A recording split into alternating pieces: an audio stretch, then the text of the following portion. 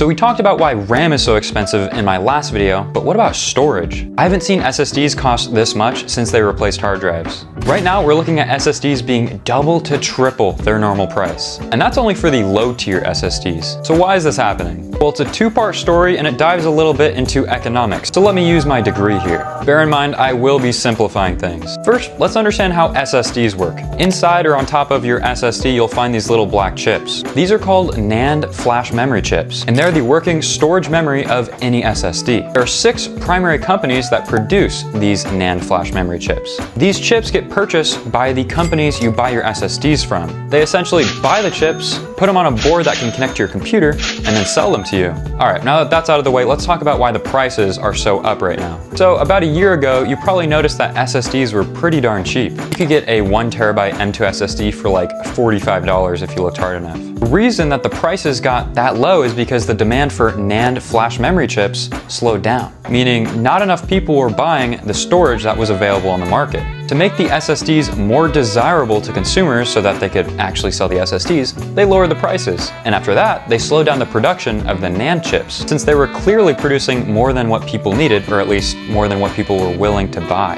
And obviously, it costs a lot of money to manufacture products and store them. So if you slow down your production, you're gonna cut your costs a little bit. They just wanted to waste less money. After they did this, without any warning, AI and data centers came into the picture, and they needed a ton of hardware to support their tech. So they started buying up all of the NAND chips. Unfortunately, the NAND chip manufacturing companies would much rather sell to these big data and AI centers because they buy a lot and they put a lot of money into it. And in turn, that means higher prices for consumer products, being the SSDs that we put in our computers. So it's kind of a crappy compounding effect. You have the lingering results of the slowed down NAND chip production and AI and data centers buying up all the chips. What do you guys think? Has this impacted your PC build? Let me know below and don't forget to follow.